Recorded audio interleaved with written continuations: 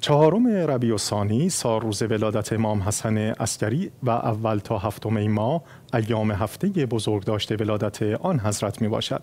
امام حسن عسکری علیه السلام امام یازدهم شیعیان و پدر بزرگوار حضرت مهدی عجل الله تعالی فرجه و شریفی می باشند و مرقد ایشان در شهر سامرا واقع شده است. به گزارش همکارم در این زمینه توجه فرمایید.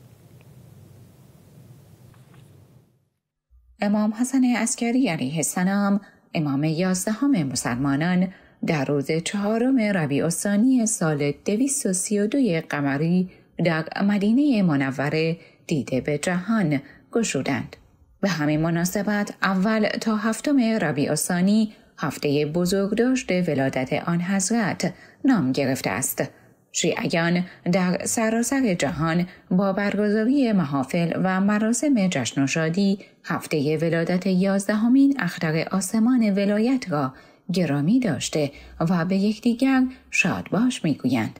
مجموعه های مربوط به دفتر آیت الله العظما سید صادق حسینی شیرازی نیز در سراسر جهان سالوز ولادت و هفته بزرگداشت ولادت آن امام بزرگوار را با برپایی مجالس جشن و سرور گرامی می دارند.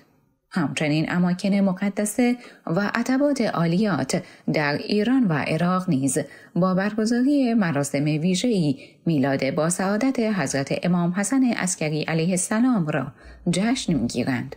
آستان مقدس امامین عسکریین علیه السلام در شهر سامرا نیز با حضور خیلی عظیمی از جمعیت شیعیان طی مراسمی میلاد پدر گرامی امام زمان عجل الله تعالی فرجه و شریف را گرامی میدارند. پدر بزرگوار امام حسن عسکری، امام علی نقی علیه السلام و نام مادر گرامیشان حدیث است و برای این بانوی پرهیزگار و شایسته نامهای دیگری همچون سلیل، سوسن و جده نیز گفته شده است. کنیه آن حضرت ابو محمد است و عسکری و زکی نیز از القاب مشهور امام عسکری است.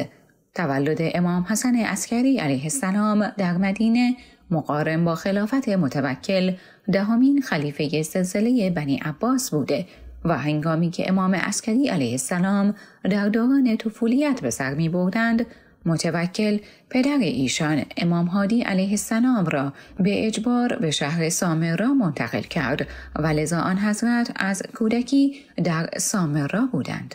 آن امام بزرگوار در سامرا تحت مراقبت شدید حکومت بنی عباس قرار داشتند و برای فعالیت های خیش با محدودیت روبرو بودند.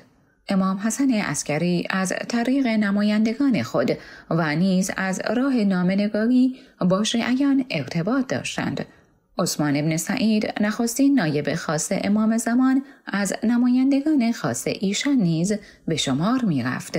امام حسن عسکری در هشتم ربیع الاول سال 260 قمری در 28 سالگی در سامرا به شهادت رسیدند و در کنار مرحله پدر بزرگوار خود دفن شدند.